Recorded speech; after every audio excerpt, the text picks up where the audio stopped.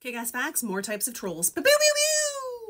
The flame warrior. Let's say you're having a surprisingly positive conversation about politics and then the flame warrior shows up. This person watches news feeds closely and will copy and paste fake news items within seconds and then reference almost any historical event and apply their logic to the present regardless of the context.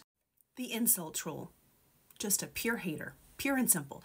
They don't even have a reason to hate or insult somebody. These types of trolls will often pick on everyone and anyone, calling them names, accusing them of certain things, doing anything they can to elicit a negative emotional response just because they can. In many cases, this type of trolling can become so severe it can lead to or be considered a serious form of cyberbullying.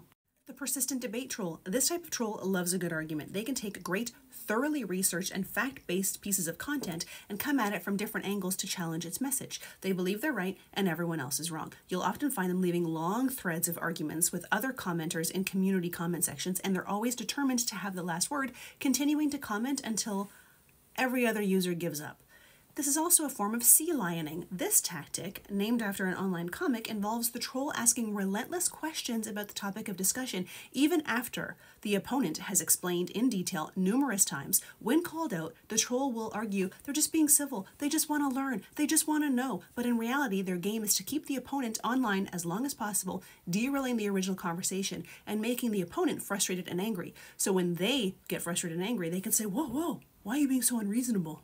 The ad hominem troll, short for argumentum ad hominem. Ad hominem is a Latin phrase that translates as to the person. It describes a rhetorical strategy where the speaker attacks something personal about their opponent, such as their character, motive, or other such attribute, instead of attacking the substance of the argument itself. Online trolling often relies on ad hominem attacks to derail the discussion. It is an unsophisticated technique. Cannibal trolls, a troll that spends time troll baiting other trolls, wasting the time of those most intent on wasting the time of others. For instance, a cannibal troll could post something like, Hi, does anyone know if it's possible to use a background that would essentially turn my computer monitor into a mirror? Scanning a mirror doesn't work. They would do this purposely to attract trolls and feed off their negative comments.